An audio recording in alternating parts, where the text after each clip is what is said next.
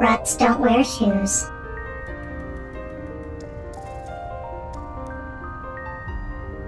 But you're not a rat. Squeak, squeak. Are you really a rat? Or, uh, go again?